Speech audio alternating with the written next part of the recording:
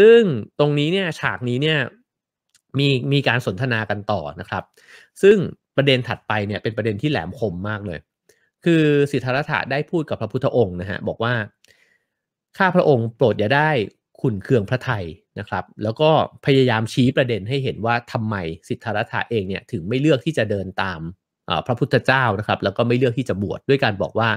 พระองค์เองเนี่ยก็ไม่ได้เรียนจากการสอนนะครับ ด้วยเหตุนี้แหละ ระสมณโคดม ข้าจึงคิดว่าไม่มีผู้ใดพบทางหลุดพ้นโดยการเรียนจากคำสอน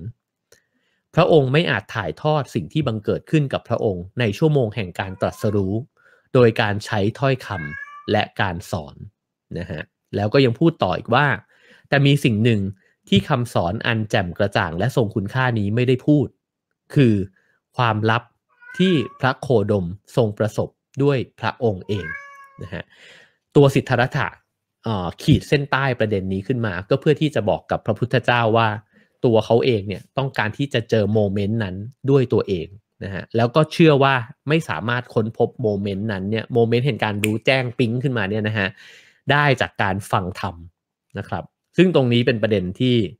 โอ้โหคมคายนะครับ แล้วก็ชวนให้คิดมากเลยนะฮะว่าถ้าเราเป็นคนที่ศึกษาเรื่องเหล่านี้นะฮะผ่านการอ่านผ่านการฟังธรรม ซึ่งไม่ได้หมายความว่าไม่ดีนะฮะก็ดี แต่สิทธาถาเนี่ยเขย่าหัวเรามากเลยว่า แล้วอย่างอื่นล่ะ